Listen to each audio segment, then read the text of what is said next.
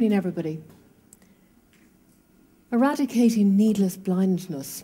Imagine blindness that's needless. Well, when I started eye surgery 20 years ago, uh, there was a lot of blindness, and most of our work was really to train us up to deal with the most common causes and have enough expertise to spot the rare causes. But something extraordinary happened in the last 20 years. And 20 years ago, there was a lot of blindness, but it wasn't all needless because we didn't have the means and technology to deal with it. So tonight I want to share with you what has got me really excited about the time that we're living in. And the fact that thanks to this extraordinary age of technology, I truly believe that we don't have to have any more needless blindness. One of the things I want you to realize is that everybody needs to have eye health, their eyes tested. If a baby doesn't have its eye disease or infection or something picked up before the age of six months, it's often too late to save the sight. If a child doesn't have their eyes examined before the age of the age of eight, one in ten that normally has unequal vision in each eye will end up with a lazy eye. How many people in this audience has a lazy eye? Well, if you're shy, I will tell you, one in ten. So that's normal, you know? And then another 25% of the population is going to become short sighted. Now, the good news is it's attached to the gene for IQ, so you can now put your hands up if you're short sighted. but you know, that usually presents between the ages of 9 to 14, 15. In fact, a member of the Australian government who recently passed a bill to give 25 million to prevention of blindness in the southern Pacific told the story that he was only picked up as needing a prescription of minus 8, which is quite high myopia when he was 14. And he just didn't know that not everybody else was unable to see what he couldn't see. So after that, now you really don't have to put your hand up here, but when you become middle aged, you're going to need reading glasses. And that is normal. If you're not short sighted, needing a prescription, you're definitely going to need reading glasses. And at least a few people here have bought the over the counter glasses for a dollar. You know, you pick them up at the airport, they're manufactured in China for a dollar. And they're all plus one to plus three, and you can give them to anybody. How easy is that? But do you realise they were not available a few years ago? What does everybody on this um, picture here have in common? Well, they're not all men. We've got President Mary Robinson, uh, High Commissioner of Human Rights, Mahatma Gandhi, uh, non resistant resistance, Dalai Lama, pursuit of happiness. Uh, we could add in Desmond Tutu, other people who've signed into this Charter of Compassion. Bono, what would the world be like if these leaders, these uh, creators, didn't have access to glasses, couldn't access their education? And this is Mia. And Mia is a child who had to wear glasses since the age of four months old. And Mia could be the next President Mary Robinson, or whoever it takes to change the world. Why not? And Mia will only need her glasses until she's about eight or nine, because these days, when we pick up a child who's a problem with their eye, we don't have to operate as 20 years ago we always had to do. We now know that accurate treatment with simple glasses, usually just a plus three to plus four, very simple, will actually allow the child to get a sharp image onto the back of the eye and allow it to grow properly. And in this photograph, you'll all assume that the old lady is the patient, but sadly, the girl in the middle in the blue sari is the patient. And there she is walking into um, surgery. And she's about to have a 10 minute operation that is actually going to give her her sight back. Now, what sort of a life will she have now that she can see again? This is a very common sight across Africa. What you're looking at is one of the 12 million HIV orphans. And what happens when they become a HIV orphan? They have to be looked after by their grandparents. And in Africa, most grandparents are in their 40s. The average person in Malawi doesn't live beyond the age of 47. And this grandparent is blind with a cataract. Because over 50% of the world blindness due to cataract is in Africa. And in Africa, you've got at least 12 million people with severe blindness, like this man in his 40s, who simply can be cured with a simple operation. So the world isn't ideal at the moment, but I know we can change it. And what are the statistics? This is a WHO definition, a statistic for low vision and blindness 316 million people. Now, let's look at that. Because that letter A, in a chart in my office, this is the normal Snellen chart, and if you come in and I test your vision, I usually ask you to stand six metres from the chart. And if you can only see the letter A, I tell you your vision is 6 over 60. And that is the legal definition of blindness in Ireland. But that's not the WHO definition. For the WHO definition, it's 3 over 60. You have to be twice as blind to fall into that statistic of 316 million. And the low vision refers to people who can only see the letters NTCO. That's 618. That's, if anybody can see better than that, it's considered an acceptable result. But you know what? In our country and in the developed world, you need to see the next line before you're allowed to drive a car. So even the statistics I'm talking about are the tip of the iceberg. 37 million people are blind completely blind. And as I said to you, over half of those are blind because of cataract. So tonight, I'm going to briefly tell you about three things that can help eradicate this preventable blindness. One is development in the management of cataract, pioneered by Dr. Venkataswamy in India, referred to earlier by Bill McDonough. And the other is what we can do about the glasses, and you already have a taster for that from what I've said. And then the third thing is just to be mindful of the up and coming condition that technology can now treat. Why did we have a crisis 20 years ago in blindness with cataract? Because it was a very difficult operation. It took us an hour and a half. I wasn't allowed near a cataract for about two years. Now, due to technology, our surgeon in Orissa is doing one every three minutes. This man here in this photograph is a technician in Malawi and he can do an operation, you know, reasonably, he can do 10 a day, and that's great. And he is supervised by an ophthalmologist because technology has allowed us to use ultrasound, lots of different tricks and techniques that make it very doable. This is the system in India where they just swing a microscope, and this was developed by Dr. Venkataswamy over 30 years in Aravind. But do you know what the best bit is? This whole eye health system pays for itself. It's, it's unique.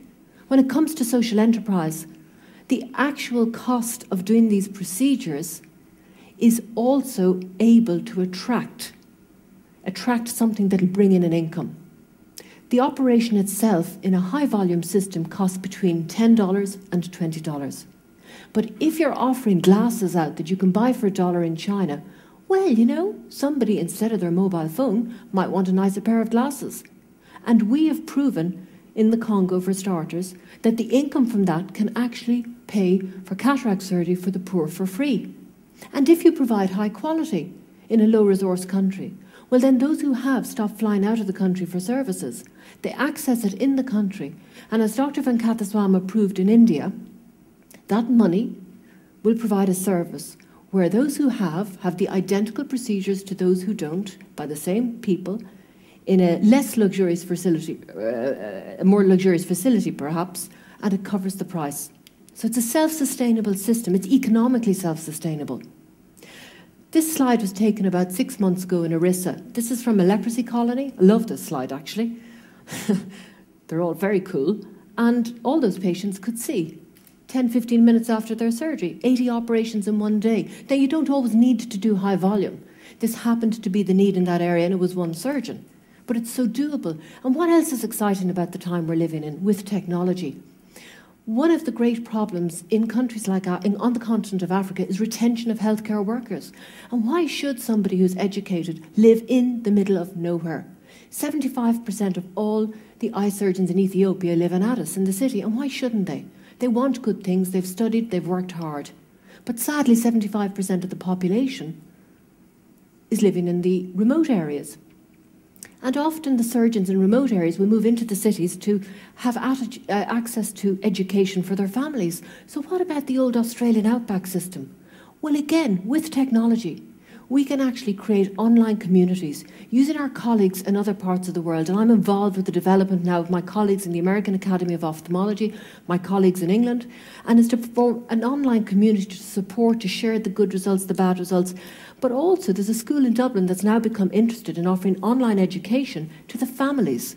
Uh, ways of doing international exams because people want to live beside their families. They don't all want to emigrate. I became involved with the computer science team here in Trinity College, and it occurred to me that the operation that we do now is so compact and it can be broken down into 12 simple stages. It's purely visual, non tactile. It's like an Xbox game. It's exactly like a PlayStation, Xbox, Nintendo game. So I went to Microsoft Xbox and I said, why not? So they introduced me to the skilled people here in Trinity College, and um, we've done it. We've developed um, a free cataract surgery simulator. Now, simulators are used to train cataract surgeons around the world, but they cost $100,000. But with an online game, with our online community, we're going to be able to monitor, to help recruit people who've got the skill, but also have a lot of fun. And then we've got these new up and coming systems like Google Wave. Again, it's all about a community accessing, sharing information, sharing knowledge, because the techniques now have become so doable. And just a word on glasses before I finish. For want of glasses, can you believe this? 13 million ch children are blind. And you know, they say compassion is a unifying force, the ability to try and imagine what somebody else is feeling. Well, if you can imagine that, how can you not do something about it? And we are talking about glasses that will cost a dollar. 45 million people can't go to work because they don't have their glasses, similar to the member of the Australian government who actually luckily got his glasses in time. But this is harrowing. 150 million people have to give up work, give up fine embroidery, give up jobs in the educational establishment in countries where they can't access reading glasses that we can all buy here in a sweet shop, but that we couldn't buy a few years ago. This is the time of change.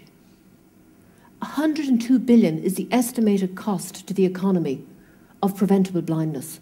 Has any of you seen this? Well, I have a version in my office, and this is called an automatic refractor. And these have become widely available only in the last few years. And what does it do? Well, it's actually a walking, non talking optometrist. You hold this up to somebody, my secretary does it, and it prints out the eye prescription. Now, we will always need very highly skilled optometrists for certain conditions, but I have to tell you, you do not need them to prescribe any of the glasses anymore. And the technology is quite simple. A light is shone into the eye, and the image that reflects backwards can be interpreted by the machine, based on our traditional methods for examining eyes. So why can't we do it with a mobile phone camera? And that's what we're now looking at here in the department that we've been developing the Xbox online game. And is any of you familiar with mobile phone penetration in the developing world? You know, 12 million hospital beds in Africa, 302 million computers in Africa. In Africa and Asia, 3 billion mobile phones and growing and growing. People will buy a mobile phone for $50 in the same country like Cameroon, where it costs $10 for a cataract operation. You can use a modem, you can have wireless transmission. And how about this?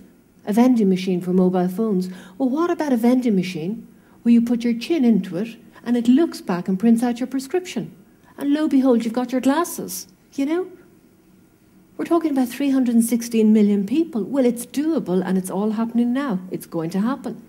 And the last word I'll tell you is recent study in September said that glaucoma, which we didn't really know it was so bad, is responsible for a third of blindness in countries like Africa for genetic reasons. And that's a condition where you just need to put a drop in the eye to keep the pressure under control. But they could never get drops out to the patients in remote parts of Africa, and the drops cost a fortune. I came across the company that makes this machine in America a couple of weeks ago.